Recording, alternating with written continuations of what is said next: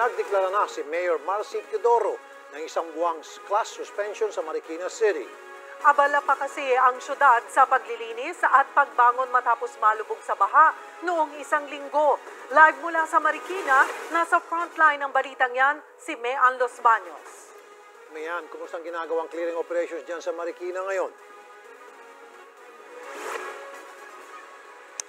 Rafi Cheryl, marami dito naniniwala na baka hindi sapat ang isang buwan para maisaayos ang buong Marikina. Kaya kahit daw ma-produce pa ulit itong mga teaching modules, baka posible raw ma-extend pa yung suspension ng classes mula sa isang buwan dahil marami sa mga estudyante dito ang kung hindi wasak at sira ang mga bahay, lubog pa rin sa putik hanggang sa ngayon. Sa gitna ng matinding basurang dala ng bagyong Ulysses, pinipilit ng mga taga-barangay Urban Bliss Barangka na manu-manong limasin ang tubig at putik sa loob at labas ng kanilang mga bahay. Sa evacuation center, pansamantalang tumutuloy si Frederick Gondola at ang kanyang pamilya. Pero tuwing umaga, bumabalik sila rito para maglinis. Apat na araw na raw nila itong sinatsaga pero wala pa rin sila sa kalahati. Naghahanap na rin kami ng malilipatan para hindi na kami magtiis dito, sobrang hirap. Lagi na lang binabaha. Sa Provident Village, kaliwat ka ng Volunteer Fire Brigade na ang nagbubuga ng tubig sa kalye at mga bahay para bumilis ang paglilinis. May mga payloader din na naghahakot ng putik para hindi na makasagabal sa daan. Base sa inisyal na tala ng Marikina LGU, aabot sa 40 hanggang 50 billion pesos ang halaga ng mga nasirang ari-arian at mga tahanan dahil sa bagyo. Wala nang baha sa kahit saang barangay pero nasa 50,000 tirahan pa rin ang lubog sa putik dito sa Marikina. Kaya simula ngayong araw, sinuspindi na ni Mayor Marcy Chodoro ang klase sa lahat ng antas para sa isang buong buwan.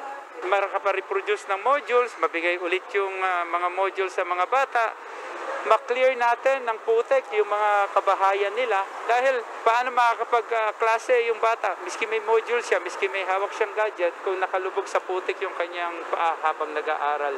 Ah, we need to establish the proper environment.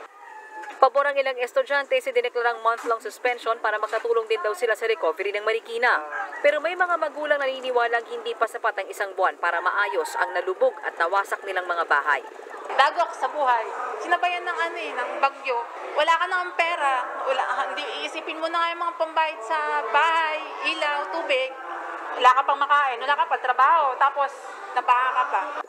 Samantala, tinutukoy ng Marikina LGU kung sino-sino sa mga residente nito ang napuruhan ng kanilang bahay sa nagdaang kalamidad para mabigyan ng mga materyales mula sa National Housing Authority. May option din naman sa ibang gusto ng lumipat ng bahay. Merong relationship na ang Marikina at ang TESDA, merong ah, relocation area sa Antipolo na, na, na kung saan ay maaring doon mag-relocate. we, do not, we do not encourage ah, relocation, pero kung gugustuhin ng tao na mag-relocate, tutulungan natin.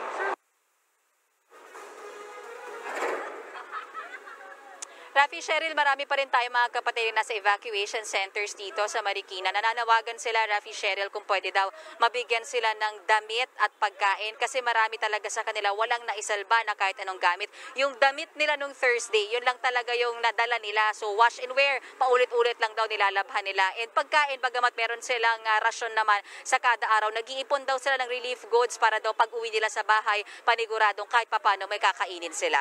Rafi Cheryl? Maraming salamat, Mean Los Baños.